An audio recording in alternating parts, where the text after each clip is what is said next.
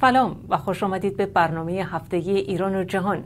با من فریبا شیرازی همراه باشید در نیم ساعت پیش رو با مروری بر مهمترین تحولات هفته گذشته. در این برنامه نخست به واکنش ها به مصاحبه حسن روحانی با CNN می‌پردازیم که مدعی شده بود در ایران روزنامه نگار زندانی نداریم. در ادامه گزارشی داریم از نشست کشورهای ساحلی دریای خزر و گفتگو در خصوص رژیم حقوقی بزرگترین دریاچه جهان. نگاهی می‌کنیم به آخرین تحرکات گروه موسوم به دولت اسلامی و ادامه حملات نیروهای ائتلاف به رهبری آمریکا علیه مواضع آنان و در پایان نیز مهستان بختیاری خبرنگار ما در ترکیه ما را در جریان آخرین تحولات این کشور قرار می‌دهد. با ما همراه باشید.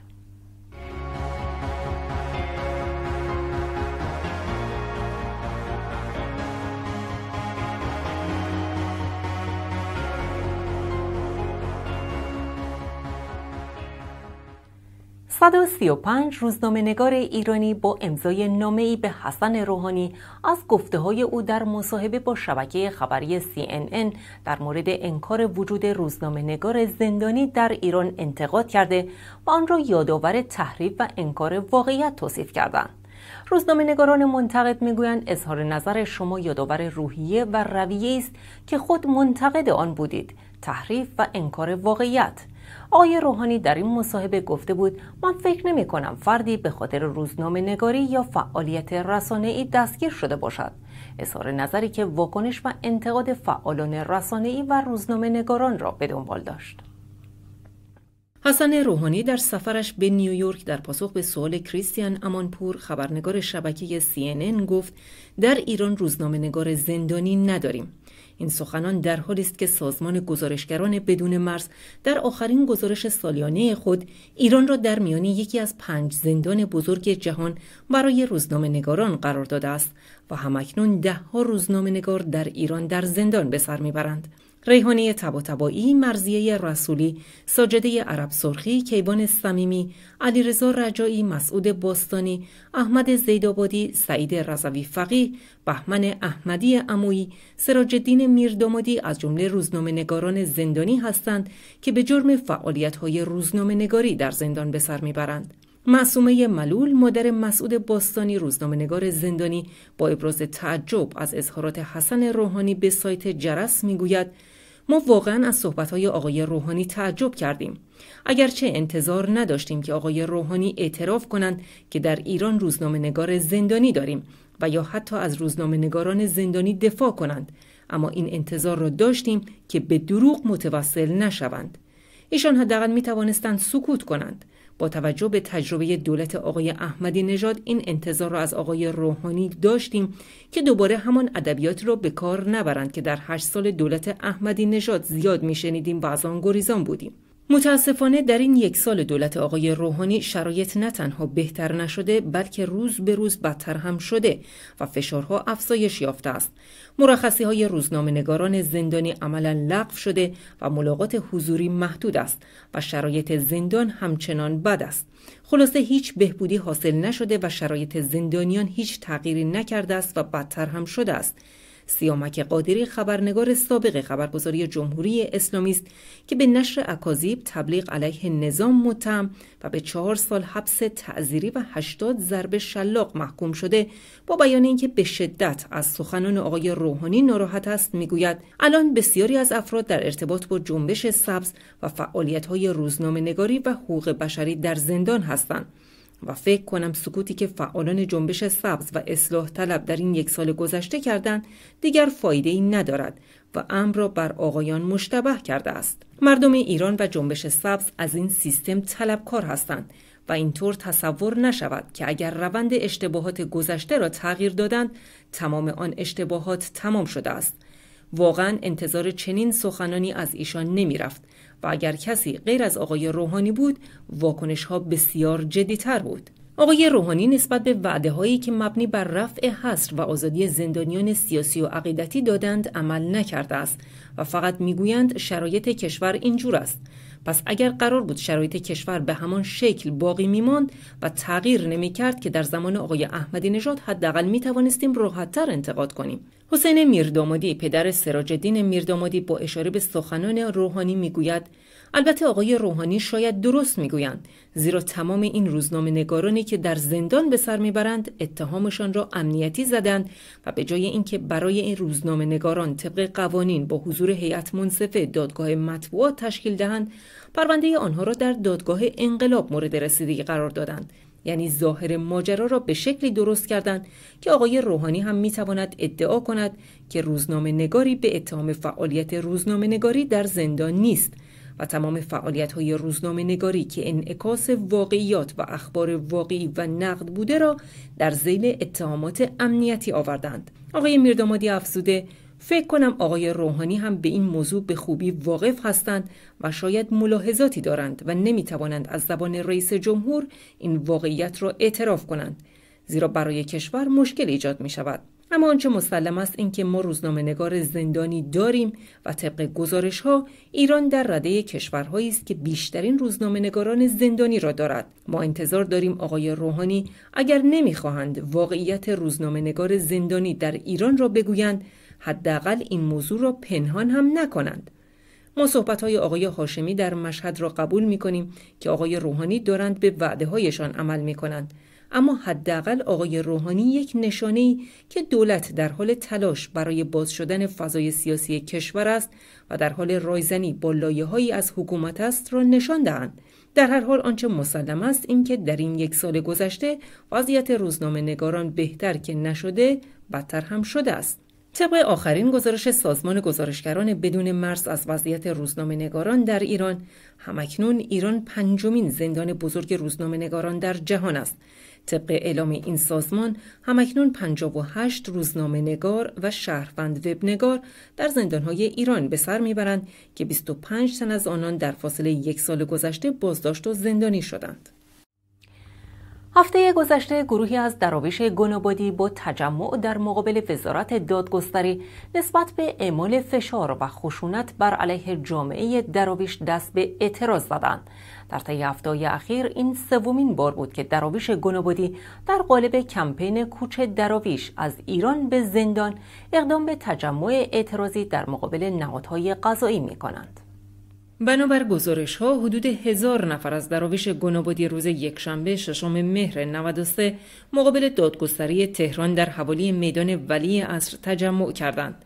وبسایت مجذوبان نور گزارش داد ساعتی پس از تجمع دراویش مقابل درب اصلی ساختمان دادگستری فرستادی وزیر دادگستری در میان تجمع کنندگان حاضر شد و خانواده های دراویش زندانی را به داخل ساختمان دعوت و نشستی با آنها ترتیب می دهد. نماینده وزارت دادگستری از خانواده های دراویش زندانی می خواهد تجمع مقابل ساختمان دادگستری را پایان دهند. او همچنین از تجمع کنندگان خواست به مسئولان این وزارتخانه فرصتی یک هفته‌ای بدهند تا مطالبات دراویش در جلسه با قوه قضاییه و رئیس مجلس بررسی شود. بنابراین گزارش نماینده وزیر دادگستری تعهد کرده که ظرف یک هفته آینده نتیجه مذاکرات را منتقل کند. آنطور که در این گزارش آمده خانواده های دراویش زندانی در دیدار با نماینده وزیر دادگستری نیز با ارائه گزارشی مستند و مکتوب از ده سال ستم به دراویش گنابادی و همچنین نحوه بازداشت و صدور حکم برای دراویش زندانی و نوع برخورد با آنها در دوران حبسشان دادند. تجمع کنندگان مقابل دادگستری همچنین تاکید کردند در صورتی که در این یک هفته پاسخی منطقی به خواسته های آنها داده نشود با چند برابر جمعیت فعلی مقابل این وزارتخانه تجمع خواهند کرد این تجمع آرام پس از دیدار نمایندگان تجمع کنندگان با نماینده وزارت دادگستری پایان یافت. این سومین تجمع دراویش گنوبادی در قالب کمپین کوچ دراویش از ایران به زندان اوین مقابل نهادهای دولتی و قضایی در تهران طی روزهای اخیر است. کمپین کوچ به زندان اوین در پی اعتصاب غذای نه وکیل و فعال حقوق دراویش گنوبادی در زندانهای تهران و شیراز با شرکت جمعی دو هزار نفره از دراویش و خانواده های آنان شکل گرفت. در روزهای اخیر دراویش گنوبادی در قالب کمپین کوچ دراویش گنوبادی از ایران به زندان اوین اعلام کردند در اعتراض به سنگینی نگاه امنیتی به پیروان طریقت و عرفان با وکلای زندانی خود هم صدا شده و از طریق تجمع با چشمها و دستهای بسته در مقابل دادستانی خواهان بازداشت و زندانی شدن تمامی دراویش عضو این کمپین توسط عوامل قضایی هستند. بنابر گزارش ها تنها در روز 29 شهریور بیش از 800 نفر از دراویش گنابادی پس از تجمع 2000 نفری مقابل دادستانی تهران بازداشت شدند. همچنین روز سیوم شهریور در دومین روز از تجمع دراویش گنابادی مقابل دادستانی نیروهای امنیتی به تجمع کنندگان حمله کردند. به گزارش پایگاه اطلاع رسانی مجذوبان نور، نیروهای انتظامی و لباس شخصی دراویش را چند ساعت محاصره و سپس با باتوم و گاز اشکاور به آنان حمله کردند. در همین زمینه کانون مدافعان حقوق بشر در نامه سرگشاده از بانکی مون دبیر کل سازمان ملل متحد خواست که مقامهای ایرانی را به مدارا در برابر دراویش مجاب کند این در حالی است که حدود یک ماه از اعتصاب غذای نه فعال حقوق دراویش گنابادی محبوس در زندانهای اوین تهران و شیراز میگذرد دراویش زندانی از تاریخ نهم شهریور در اعتراض به وضعیت بازداشت خود دست به اعتصاب غذای نامحدود زدند و در روز 17 شهریور نیز با انتشار وصیت‌نامه خود اعلام کردند این بار برای مرگ آماده ایم. سازمان گزارشگران بدون مرز روز 21 شهریور در اطلاعیه‌ای نگرانی خود از وضعیت جسمانی این دراویش را ابراز کرد و خواستار انتقال آنان به بیمارستان شد. رهبران پنج کشور حاشیه دریای خزر هفته گذشته در شهر آستراخان روسیه گرد هم آمدند تا در مورد یافتن راه حلی درباره رژیم حقوقی دریای خزر، منابع خاویار و اکوسیستم این دریاچه رایزنی کنند. دریای خزر بین ایران، روسیه، قزاقستان، آذربایجان و ترکمنستان مشترک است ولی این کشورها درباره تقسیم منابع آن با هم اختلاف دارند. ولادیمیر پوتین رئیس جمهوری روسیه رهبران چهار کشور حاشیه دریای مازندران از جمله جمهوری اسلامی را به روسیه دعوت کرده تا در چهارمین نشست رهبران کشورهای حاشیه خزر شرکت کنند این اجلاس در شهر بندری آسرخان واقع در شمال مازندران و در دلتای رودخانه ولگا برگزار می شود. حسن روحانی در بد ورود به روسیه گفت در این اجلاس مباحث متنوعی با سران کشورهای ساحلی دریای مازندران خواهیم داشت و انشالله به نتایج قابل قبولی خواهیم رسید. سخنرانی در اجلاس سران کشورهای حاشیه دریای مازندران و امضای اسناد دیدار با رئیس جمهوری روسیه شرکت در مراسم نمادین رهاسازی نوزاد ماهیان خاویاری در ساحل رود ولگا و مصاحبه با شبکه تلویزیونی راشا تودی از جمله برنامه حسن روحانی در این سفر دو روزه است. در چهارمین اجلاس رهبران کشورهای حاشیه دریای مازندران که برای نخستین بار در روسیه برگزار می شود مسائل مختلفی مانند رژیم حقوقی همچنان حل ناشده دریاچه بازار نفت و گاز، منابع خاویار و اکوسیستم مازندران میان شرکت کنندگان مورد بحث و بررسی قرار خواهد گرفت. علاوه بر ایران، رؤسای جمهوری آذربایجان، روسیه، قزاقستان و ترکمنستان در این اجلاس شرکت می کنند. خبرگزاری آلمان در گزارش درباره چهارمین اجلاس رهبران کشورهای حاشیه دریای مازندران نوشته است. این کشورها سالهاست که در مورد تقسیم این بزرگترین دریاچه جهان که از منابع نفت و گاز و خاویار گرانبها غنی است با یکدیگر در مناقشند. دریای مازندران تا چند پیش 80 درصد خاویار جهان را تامین می‌کرد. اما چندین سال است که ماهیان خاویاری مازندران در معرض خطر نابودی قرار گرفتند. قاچاق و سید بیرویه، آلودگی آب دریا و ورود انواع فاضلاب ها و آلاینده به این بزرگترین دریاچه بسته جهان مهمترین عواملی هستند که زیست طبیعی ماهیان خاویاری مازندران را تهدید می کند. انقراض گونه های ماهیان خاویاری در دریای مازندران روندی نگران کننده پیدا کرده به طوری که در 20 سال گذشته تولید خاویار در این دریا 20 برابر کاهش یافته است. منابع روسی می‌گویند جمعیت ماهیان خاویاری مازندران از 200 میلیون قطعه در سال 1960 به 12 میلیون قطعه در حال حاضر رسیده است. ممنوعیت سید تجاری ماهی خاویاری در مازندران که از چهار سال پیش اعمال می شود نتایج چندانی به بار نیاورده است.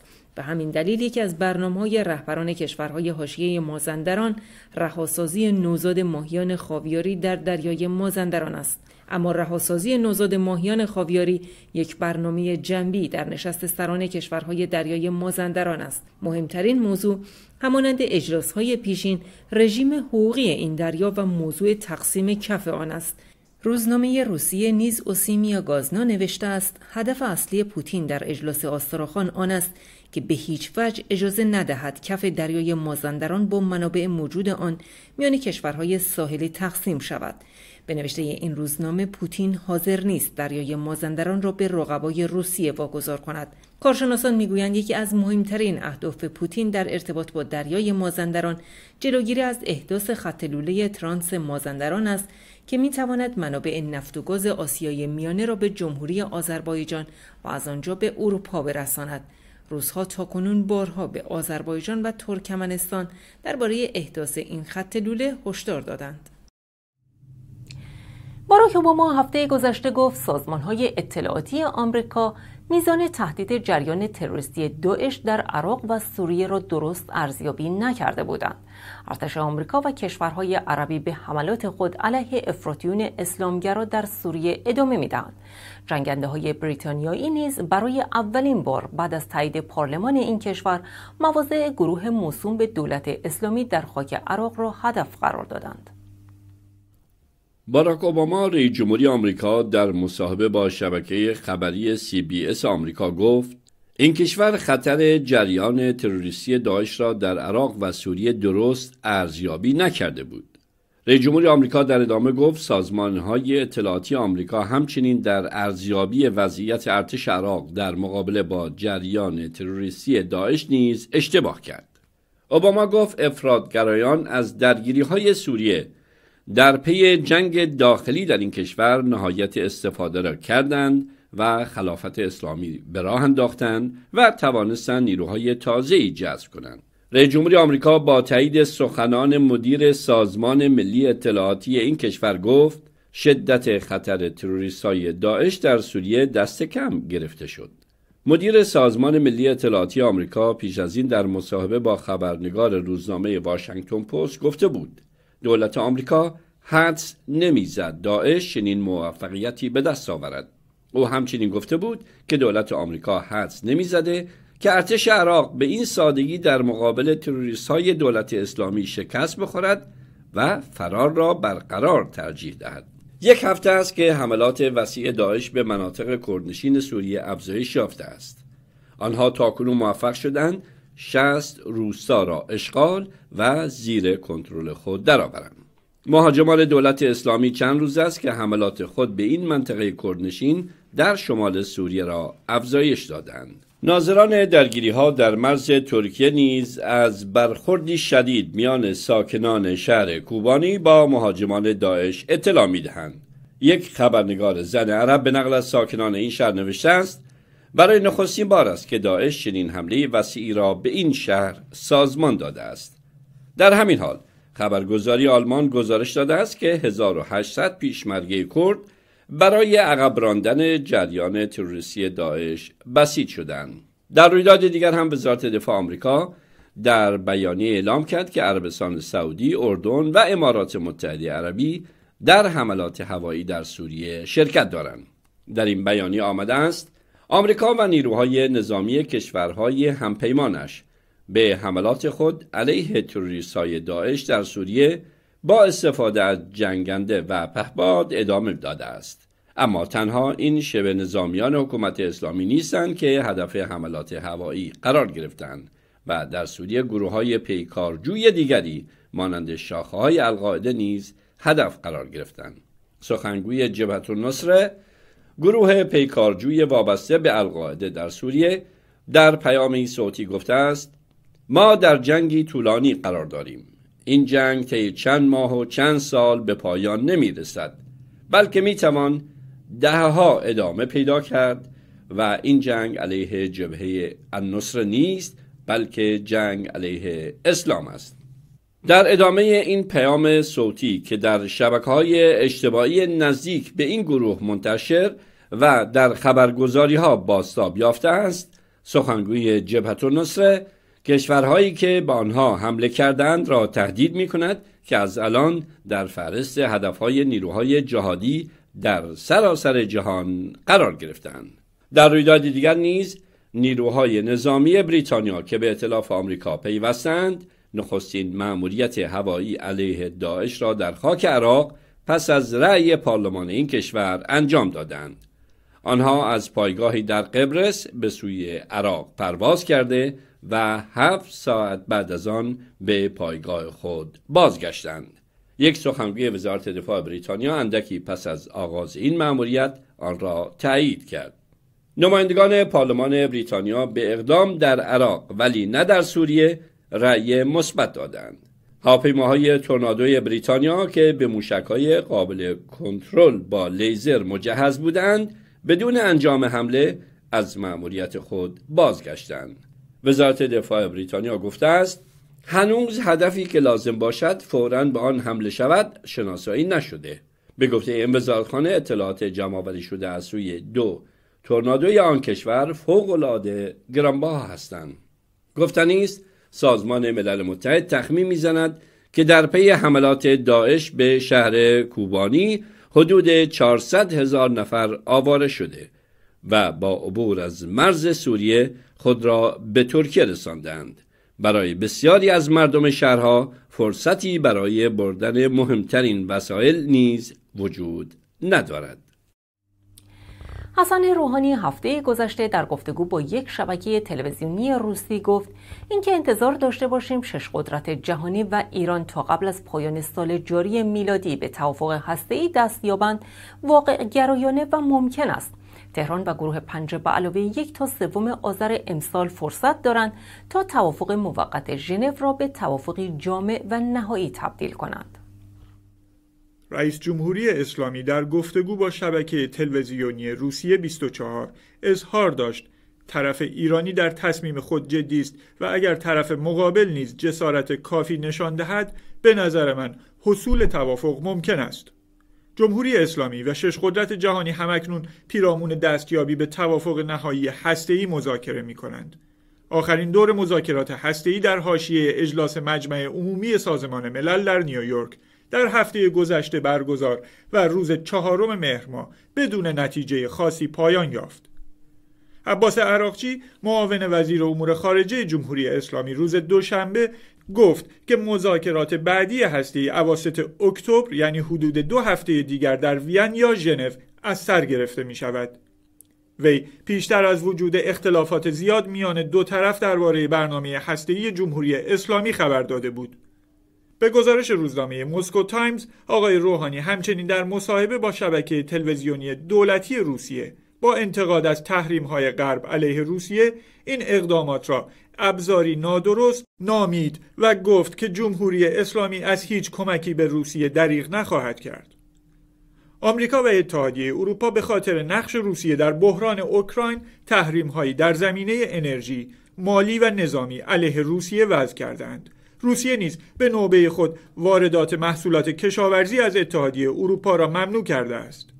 در همین زمینه آقای روحانی گفته که به افزایش روابط تجاری بین دو کشور امیدوار است و محصولات کشاورزی ایران تا پایان سال 2015 وارد بازار روسیه خواهد شد.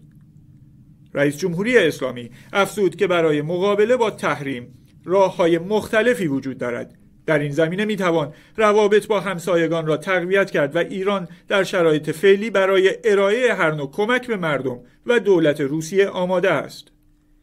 جمهوری اسلامی و روسیه 18 شهریور ماه تفاهم نامه اقتصادی و انرژی با یکدیگر امضا کردند. ماه گذشته همزمان با سفر یک مقام بلندپایه روسی به ایران بیژن نامدار زنگنه وزیر نفت جمهوری اسلامی اظهار داشت که سطح مبادلات ایران و روسیه می تواند تا بیش از ده برابر افزایش یابد و به رقم 15 میلیارد دلار در سال برسد. بنیامین نتانیاهو نخست وزیر اسرائیل در سخنرانی خود در مجمع عمومی سازمان ملل متحد خطر جمهوری اسلامی را بزرگتر از خطر گروه داعش دانست و بر لزوم نابودی ظرفیت سلاح هسته‌ای ایران تاکید کرد. بنیامین نتانیاهو سخنرانی خود را با خطرات ناشی از گروه حکومت اسلامی در عراق و سوریه آغاز کرد و به قربانیان افرادگرایی اسلامی اشاره و آن را به قده سرطانی تشبیه کرد و گفت که این نوع بنیادگرایی به سرعت در حال گسترش است و یهودیان، کردها، ایزدیها، مسیحیان و دیگران می توانند در ردیف قربانیان باشند. به گفته آقای ناتانیاهو برای حفاظت از صلح باید قده سرطانی افرادگرایی اسلامی را ریشهکن کرد.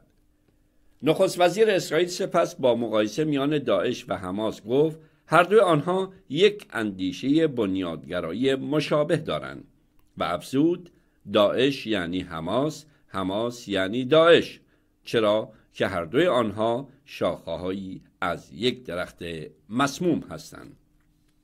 و ازار داشت. نازی ها نیز به نژاد برتر اعتقاد داشتند.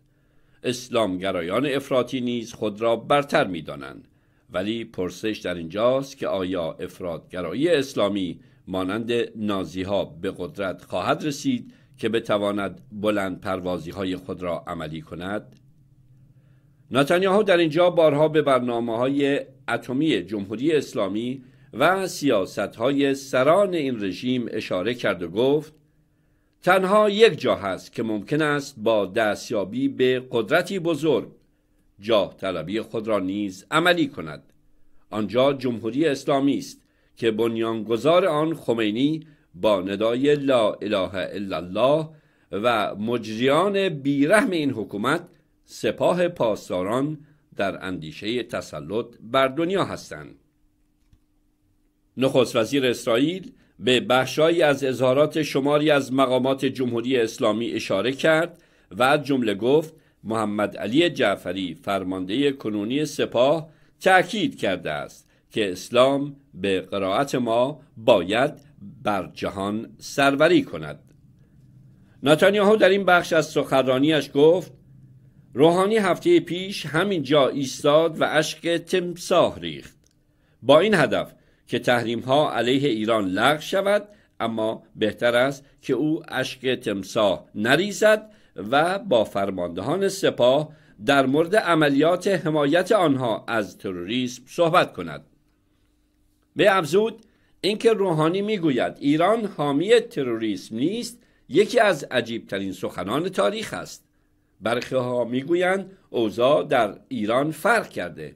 روحانی و وزیر خارجش افرادی خوشبیان هستند و محتوای سیاست خارجی ایران را تغییر دادند. اما این افراد ساده رو هستند و به هدفهای قایی رژیم ایران توجه ندارند. ناتانیاهو در این بخش از سخنان خود به وزیر خارجه جمهوری اسلامی به عنوان دیپلماتی که ظاهرا خوش سخن است اشاره بیشتری کرد و گفت اما ببینید که ظریف در کتاب خود چند سال پیش چه نوشت. او نوشته بود که ما وارثان یک مأموریت جهانی هستیم. همان مأموریتی که فلسفه وجودی ما را تشکیل می دهد. ظریف در کتاب خود پرسیده است اما چگونه است که کشور مسلمان مالزی با مشکلات مشابه ایران روبرو نمی شود و خود ظریف پاسخ می دهد که مالزی نخواسته مانند ما ایران نظم جهانی را تغییر دهد.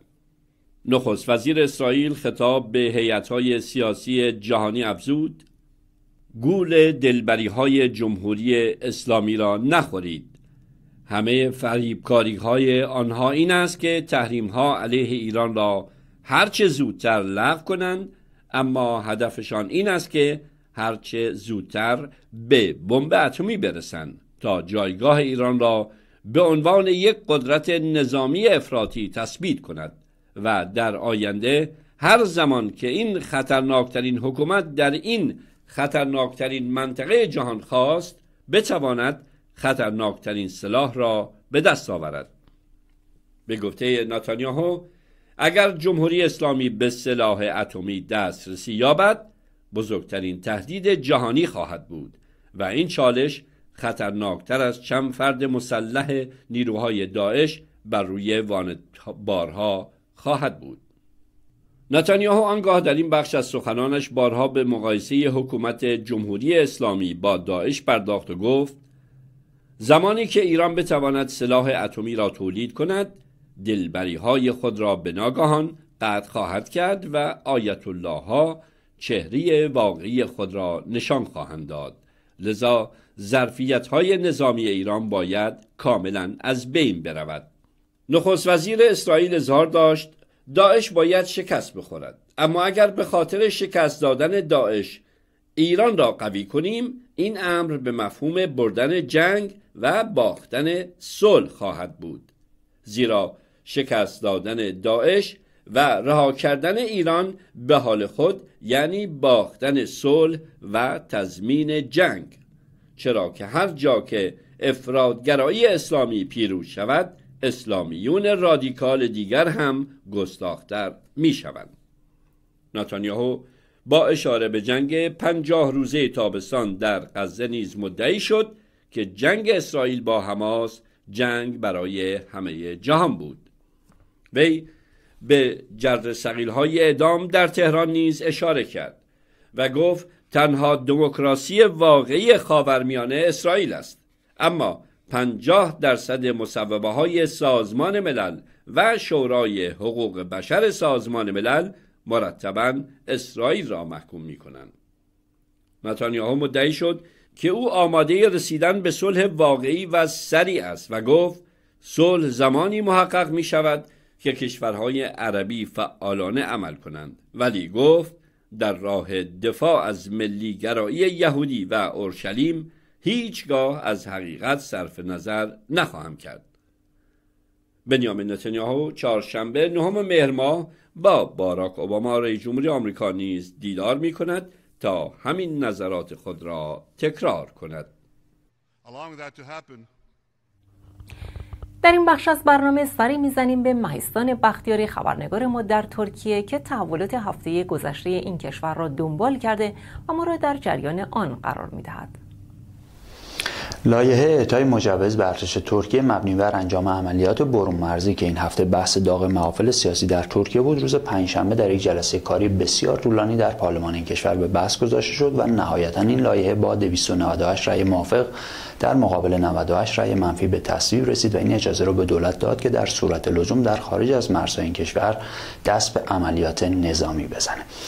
این لایحه که روز سهشنبه و با امضای آقای داوود اغلو در یک متن یک صفحه‌ای به پارلمان ارائه شده بود برای مدت یک سال در نظر گرفته شده و در اون مشخصا به این موضوع تاکید می‌کنه که با توجه به تحولات اخیر در منطقه به ویژه در عراق و سوریه ریسک تهدید امنیت ملی در مرزهای جنوبی کشور افزایش پیدا کرده و بر فعالیت گروه های تروریستی در سوریه و عراق در مقیاس وسیع افزوده شده. از سوی دیگه گروه پکاکا نیز دامنه فعالیت های خودش در شمال عراق رو گسترش داده. از این رو دولت از پارلمان خواستار این اجازه شده که چنانچه امنیت کشور از این ناحیه مورد تهدید قرار گرفت دولت اختیار اعزام نیروی نظامی به خارج از مرزها و یا حتی استقرار سربازان خارجی در راستای هدف مذکور رو در این مناطق داشته باشه.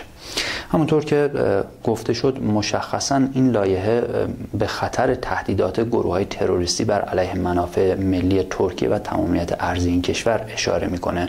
اما ایجاد یک منطقه حائل برای آوارگان و منطقه پرواز ممنوع از دیگر بندهای این لایحه هم هستش که باید بهش اشاره کرد. هرچند آقای اردوغان و همینطور آقای داوود اغلو از نمایندگان پارلمان پیشتر خواسته بودن که به این لایحه رأی مثبت بدن اما از سوی دیگه برخی احزاب با این لایحه مخالفت کرده بودن. از جمله حزب جنبش ملیگره ها حزب جمهوری خلق و حزب دموکراتیک خلق ها و یا حتی احزاب کوچکتری مانند حزب سعادت. در این رابطه آقای کمال قلیشدار رهبر حزب جمهوری خلق بزرگترین حزب مخالف دولت معتقد بود که وضعیت منطقه درست شبیه باطلاقی هستش که هر کشوری که در اون مداخله بکنه در این باطلاق گرفتار خواهد شد. و این به صلاح ترکیه نخواهد بود که وارد منازعات منطقه‌ای بشه. در نگرش مشابه رهبر حزب سعادت هم ضمن مخالفت با این لایحه گفته بود که فعلا تهدید جدی از سوی دو کشور سوریه و عراق متوجه ما نیست. از این رو ارائه این لایحه در این زمان ضرورتی نداره. اما خب گفتگو بر سر این لایحه تا حدود ساعت 8 شب به روز پنجشنبه ادامه پیدا کرد و نهایتا همونطور که از قبل هم انتظار می‌رفت این لایحه با اکثریت آرا به تصویب رسید تا دولت در این زمینه با اختیار قانونی بتونه عمل بکنه. اما به صورت گذرا به دو خبر دیگه هم اشاره بکنم. نخست آقای صلاح الدین دمیرتاش نماینده کرتوار پارلمان ترکیه و رهبر حزب دموکراتیک خلقها در دیداری که روز چهارشنبه با آقای داوود اغلو داشتن حمایت خودش را از طرح اصلاحات دموکراتیک مبنی بر مذاکرات صلح دولت با کردها اعلام کرده. او گفته جهت به نتیجه رسیدن اصلاحات دموکراتیک و پایان ترور هرچه در توان داریم رو به کار خواهیم گرفت. در رویدادی دیگه دادگاه قانون اساسی ترکیه روز پنجشنبه طرح نظارت و کنترل دولت بر اینترنت رو که پیشتر به پیشنهاد حزب عدالت و توسعه در پارلمان این کشور به تصویب رسیده بود رو مغایر آزادی های مندرج در قانون اساسی ترکیه دونسته و خب حکم به لغو اون داده. بر اساس این مصوبه دولت این اختیار رو به دست می آورد که بدون نیاز به کسب مجوز از مراجع قضایی نسبت به فیلتر کردن برخی سایت های اینترنتی اقدام بکنه. تری که بسیاری معتقد بودن دست دولت رو در محدود کردن آزادی های فردی باز خواهد گذاشت. بسیار سپاسگزارم که ما رو تا پایان برنامه همراهی کردید. این برنامه همراه با دیگر برنامه های ما رو می توانید در وبسایت ما به آدرس ایران فردا دنبال کنید. از طریق این وبسایت ایمیل ما و همچنین صفحه فیسبوک ما به نشانی facebook.com ایران فردا TV Network با ما در ارتباط باشید و درباره برنامه نظر دهید. فردا هم در همین ساعت منتظر شما هستیم. تا درودی دیگر بدرود.